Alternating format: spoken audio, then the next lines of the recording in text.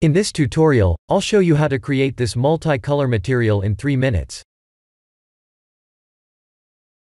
There are two multicolor node methods that I'm going to show you.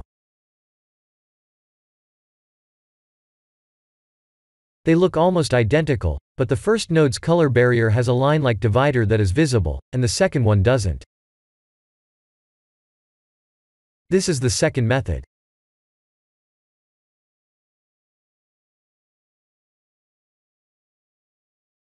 Notice how the material acts like if they were oil-based paints on the water.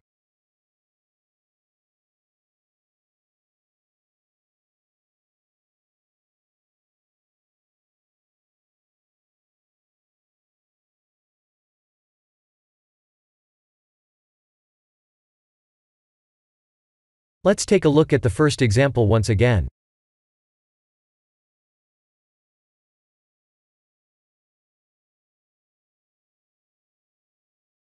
Let's go to the Shading tab at the top.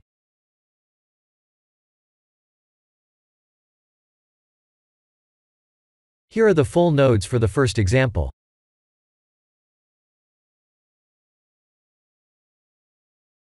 It's the usual color ramp and the gradient texture node setup on a metallic material. Because we're using the linear gradient, we can see where the colors are divided on the surface. By the way, this cube? It's a bug. Click the mesh once, and it will disappear.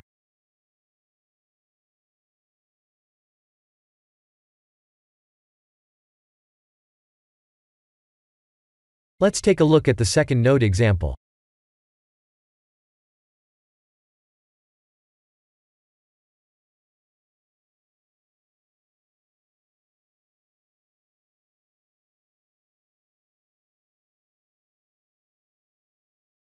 Here are the full nodes.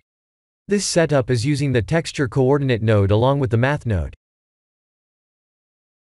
The math node can be added like this.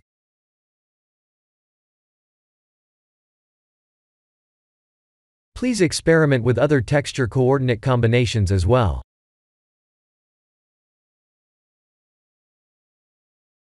This is the end of the tutorial. Thank you for watching.